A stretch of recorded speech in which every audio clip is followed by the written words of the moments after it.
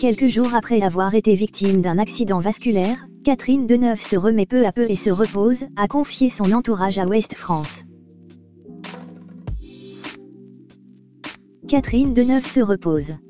Dans la nuit du 5 au 6 novembre dernier, la comédienne de 76 ans a été victime d'un accident vasculaire ischémique très limité et donc réversible, qui n'a pas touché le cerveau, assuré ses proches dès le lendemain. Un problème de santé lié à un coup de fatigue probablement dû à un agenda surchargé. Plus de peur que de mal finalement pour la star, qui désormais se repose, tandis que des examens complémentaires sont en cours, explique un proche à Ouest France. Elle réagit bien au traitement. L'accident vasculaire est vraiment limité. Elle a eu beaucoup de chance en étant prise en charge très rapidement à l'hôpital où son malaise s'est produit, en plein tournage, rapporte la source auprès du quotidien.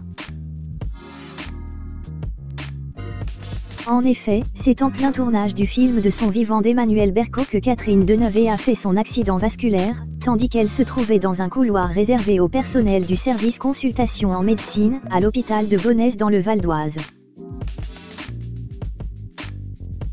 La chance qu'elle a eue, c'est que la prise en charge a été immédiate. On s'est occupé d'elle comme d'un patient lambda, pas comme une icône française, précisait ainsi une infirmière, dans les colonnes du Parisien. Dans les deux minutes qui ont suivi son accident vasculaire, Catherine Deneuve a été admise aux urgences avant d'être transférée dans un hôpital à Paris.